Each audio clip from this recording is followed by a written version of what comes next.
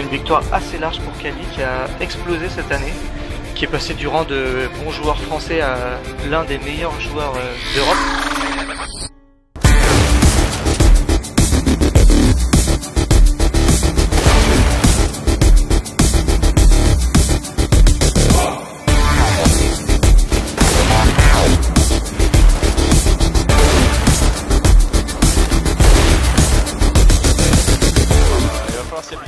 Vu euh, un joueur qui m'était essayé d'utiliser aussi en rush tout à l'heure. euh, Non, un joueur peut-être. Oh Brochette Middle qui tue le match Ça tue 30 kills, hein, le match Kali qui vient de signer la Red Ford des Fnatic.